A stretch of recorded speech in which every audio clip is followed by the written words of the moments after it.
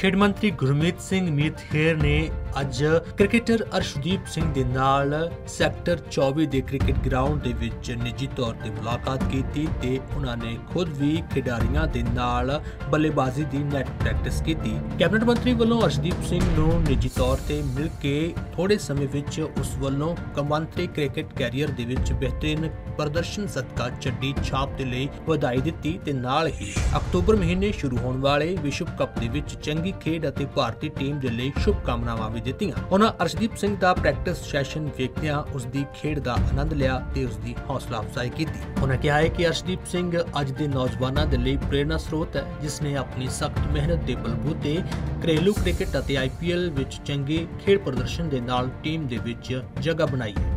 bureau report Jagbani TV